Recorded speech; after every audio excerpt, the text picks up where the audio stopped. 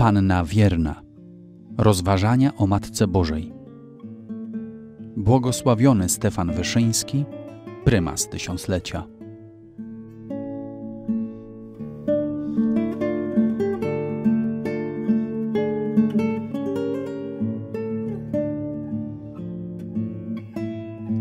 Rozważanie osiemnaste.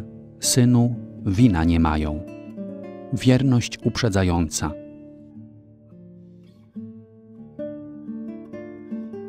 Określając na czym polega wierność, powiedzieliśmy, że wierność nie jest nigdy trwaniem przy tym, co jest. Wierność to jest przeciwnie, najsilniejszy bodziec, który nas ustawicznie przynagla do kroczenia naprzód.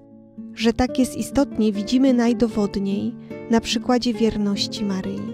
Wierność jej bowiem nie tylko zmierzała nieprzerwanie ku celom przez Boga wytyczonym, poprzez wszystkie przeszkody i wszystkie trudności.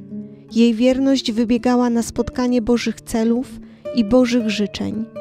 Jej wierność stale nasłuchiwała głosu wezwań Bożych, stale wypatrywała sposobności i możliwości zbliżenia się do celu, a zarazem pociągnięcia do niego innych. Jej wierność była podobna do tego, który przyłożywszy rękę swą do pługa, nie tylko nie ogląda się wstecz, lecz wytęża wzrok, by dostrzec wszystkie obszary czekające na przeoranie, wszystkie gleby, które trzeba przygotować pod posiew łaski. Jej wierność była wybitnie wiernością uprzedzającą. Tak już było od zarania jej życia. Już przez swoje ofiarowanie się Bogu i przez swój ślub dziewictwa uprzedziła w pewnym znaczeniu życzenie Boże. Uprzedziła to wszystko, do czego ją Bóg miał powołać. Najwyraźniej jednak występuje na jaw jej wierność uprzedzająca w trzech tajemnicach jej życia. Tych właśnie, dla których opiera się nasza wiara w jej wszechpośrednictwo w świecie łaski. Nawiedzenie, kanie i czuwanie na modlitwie w wieczerniku.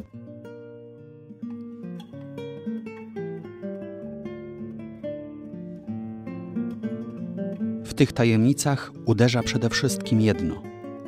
Oto w każdym z tych wypadków postawa Maryi nie była podyktowana żadnym wyraźnym nakazem, objawionym życzeniem Bożym. Nie była również podyktowana prośbą ze strony ludzi, o których się Maryja w tych wypadkach zatroszczyła. Całkowita inicjatywa była wyłącznie po stronie jej wierności uprzedzającej, wprawdzie natchnionej przez Boga, niemniej zupełnie samorzutnej, uprzedzającej życzenia Boże i ludzką potrzebę pomocy. W tych uczynkach miłości wszechpośredniczki łask uderza ponad to jeszcze jeden rys wierności uprzedzającej. Oto za każdym razem objęła swą troską sprawy przyszłości.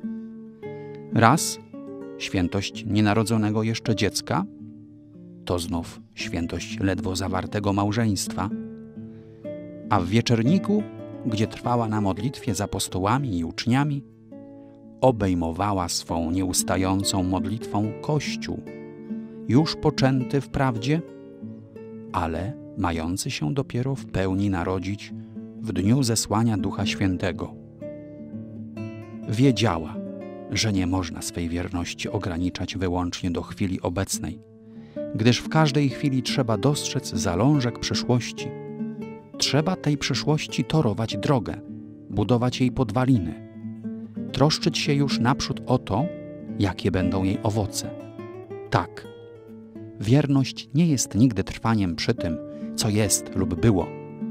Wierność Bogu jest ustawiczną dbałością, by w sobie samym i dokoła siebie wszystko coraz bardziej ku Niemu przybliżać, a zarazem przybliżać nastanie na ziemi Bożego Królestwa. Na tym polega owo szukanie najpierw Królestwa Bożego i sprawiedliwości Jego, o którym Chrystus Pan nas zapewnił, że wszystko inne będzie doń przydane. W stosunku do wierności uprzedzającej okazanej przez Maryję, obietnica ta sprawdziła się dosłownie – Łaski, jakimi Bóg odpowiedział na dowody jej wierności uprzedzającej, świadczą o tym niezbicie. Nigdy dotąd na przestrzeni dziejów świata przyszłość nie zbliżała się z tak zawrotną szybkością jak dziś. Dawniej wszystko przebiegało wolniej. Zmiany wydarzeń dziejowych, zmiany w warunkach życia, postępy nauki i techniki nie były nigdy nawet w przybliżeniu, tak jak dziś szybkie, gwałtowne, wielorakie. To też i myśl ludzka swobodniej poruszała się i wzrastała w czasie. Nie była tak osaczona ze wszystkich stron przez coraz to nowe przeżycia i nowe wydarzenia. My dziś jesteśmy wciąż wchłaniani przez jakąś nową teraźniejszość, która nas na przemian to zadziwia, to znów przeraża swymi osiągnięciami.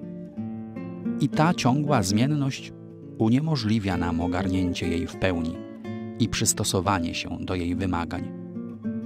Nie umiemy się w niej zorientować, jak człowiek, który przejeżdża przez wciąż nowe kraje. I dlatego często nie potrafimy już rozpoznać, jak można odnaleźć drogę wierności Bogu poprzez tę gęstwę ciągłej zmienności, a zwłaszcza nie bardzo już wiemy, jak można przez wierność uprzedzającą wyjść na spotkanie życzeń Bożych, by glebę teraźniejszości obsiać wybornym ziarnem przyszłych żniw. Ale owe trzy objawy uprzedzającej wierności Maryi rozwiązały tę zagadkę na zawsze. Dla wszystkich epok, wszystkich teraźniejszości, a także dla wszystkich narodów, niezależnie od ich warunków dziejowych czy bytowych. Bo uprzedzająca wierność stolicy mądrości z nieomylną trafnością objęła swą troską te sprawy, które zawsze z samej swej istoty rzutują w przyszłość sprawy, od których ta przyszłość i cała jej wartość, całe jej oblicze zależy.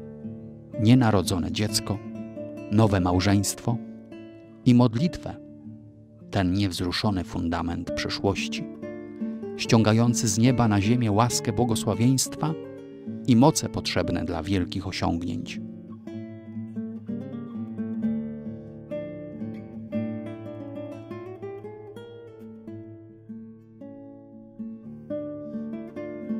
Tajemnica nawiedzenia to wielkie wezwanie rzucone przez wieki wszystkim, którym leży na sercu wierność sprawie Bożej. To jest w pierwszym rzędzie wezwanie rzucone matkom. Wezwanie przypominające im, że nie tylko cielesna, ale jeszcze może bardziej duchowa istota dziecka zależy od tego okresu, kiedy pod sercem kobiety kształtują się zadatki osobowości przyszłego człowieka. Maryja wiedziała już o tym na wiele stuleci, zanim to odkryły medycyna i psychologia. Niosąc Boga nienarodzonemu, wskazywała wszystkim matkom, jak to należy jeszcze przed urodzeniem, jeszcze zanim poleje się odkupieńcza woda Chrztu Świętego, która zgładzi zmazę grzechu, już przynosić Boga swemu dziecku przez jak najczęstszą komunię świętą, przez Boże myśli i modlitwę. Bo odkąd Bóg naturę ludzką poślubił w łonie niewiasty, serce każdej matki może stać się tym przybytkiem, gdzie nieochrzczona jeszcze duszyczka spotyka się po raz pierwszy z Bogiem i Jego miłością, zaczerpniętą przez Matkę u stołu Pańskiego. To spotkanie już kształtuje Jego przyrodzoną naturę na spotkanie nadprzyrodzone, jakie nastąpi w chwili Chrztu Świętego. Ono już zaważy na Jego przyszłym charakterze i usposobieniu. Maryja odwiedzająca Elżbietę wzywa za sobą nie tylko matki, wzywa wszystkich, którzy przez swoją opiekę, pomoc, troskliwość i wierność uprzedzającą wobec wszelkich dzieł Bożych pragną torować drogę Chrystusowi na ziemi. Na godach kananejskich Maryja powiedziała: Wina nie mają.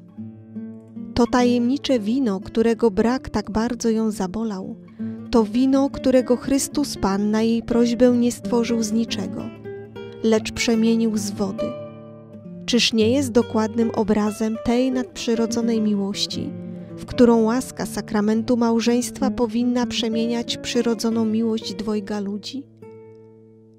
Maryja, matka pięknej miłości, zapragnęła dla małżeństwa tej miłości nadprzyrodzonej, która jedna potrafi nadać miłości przyrodzonej trwałość, moc i smak nieprzemijający.